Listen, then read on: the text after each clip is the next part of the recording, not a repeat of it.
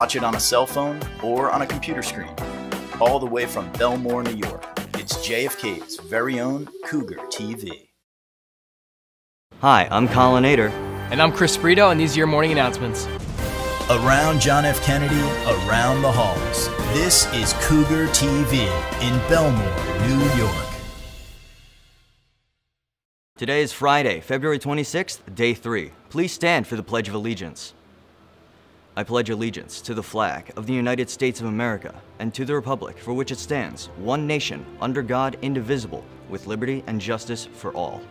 Senior internship applications are due on February 26th. QR codes for the application are posted around the building, on the school website, and outside of room 327. If you have any questions, please see Ms. Leonardo in room 327. Are you ready for Trivia Challenge 2021? The Cerebral Palsy Trivia Challenge will be held on March 18th at 2.15. Sign up today using the QR code on the flyers or come to room 300 to sign up in person.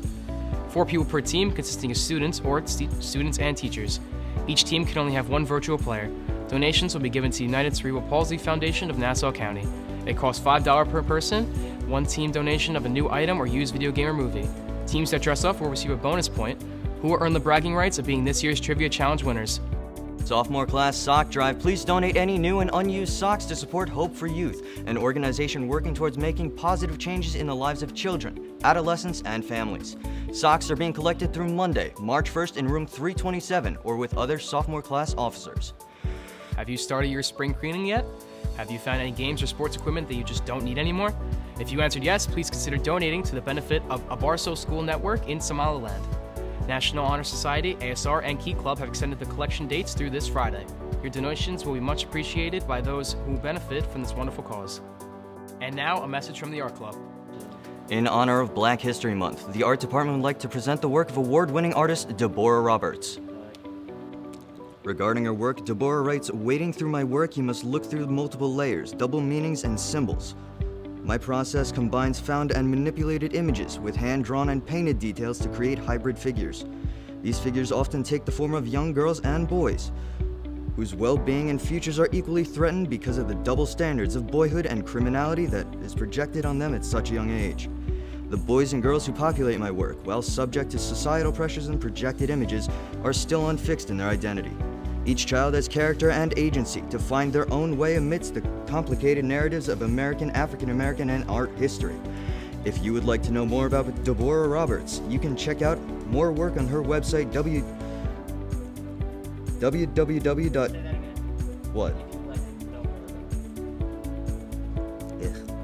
If you would like to know more about Deborah Roberts, if you would like to know more about Deborah Roberts, you can check out more If you would like to know more about Deborah Roberts, you can check out more work on her website www.deborahroberts.art. Hmm. Just from if?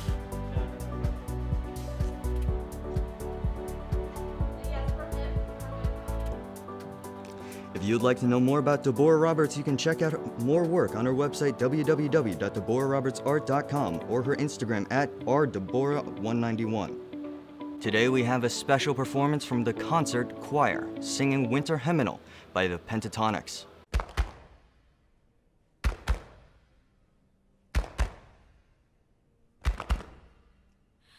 I was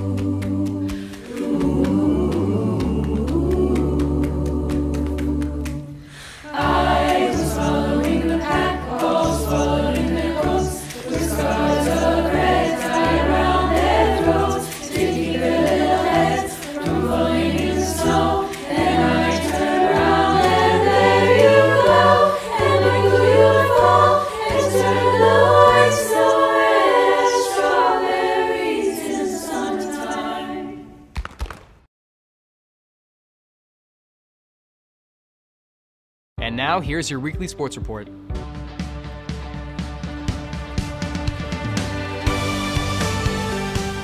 I'm Katie O'Brien, and here is your sports report. Over the winter break, the varsity cheer team competed against Freeport, Baldwin, and Long Beach in their first competition. The team placed second with no deductions. Fantastic job, girls. Also, during break, the boys varsity basketball team gained a win against Seawanhaka with a score of 59 to 49. Ryan Shelton scored 21 points with 5 rebounds. On Tuesday, the boys defeated Great Neck by a score of 57 to 49. Tyler Yablon scored a team high 14 points, including four three pointers to lead the Cougars. Matt Cohn added 12 points and 5 rebounds. Danny Seymour grabbed 6 rebounds, scored 4 points, and blocked 4 shots. The girls' varsity basketball team is currently undefeated and gained two more wins to add to their incredible season this week. They took the win over New Hyde Park with a score of 55 to 26, with Cameron Montalbano leading the team with 11 points. The girls also gained another victory over Great Neck North with a final score of 60 to 24. Rachel Nawson had 18 points and Cameron Montalbano had 16 points. Gianna Gampero added in 7 points and 8 rebounds. The girls faced Jericho today at home. On Wednesday, the wrestling team continued their winning ways with a 40 to 23 victory over Seaford to improve their record of 6 to 0. Jefferson Cruz, Dan DiFilippo, AJ Pisaruso, Marcus Molina, JJ Pisaruso, and Eric Schindel all secured wins to remain undefeated this season. Chris Tanico's overtime win turned out to be big for the Cougars to secure the win. The team looks to finish the season undefeated on Saturday against Clarke. Once again, I'm Katie O'Brien, and this has been your Sports Report.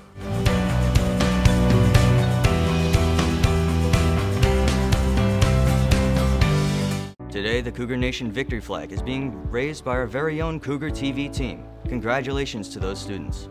And for today's lunch, the cafeteria is serving wedge pizza with sauteed broccoli, chilled assorted fruit, and of course, your choice of milk. Thank you for watching Cougar TV and have a great day, Kennedy. Watch it on a cell phone or on a computer screen. But wherever you're watching, watch Cougar TV.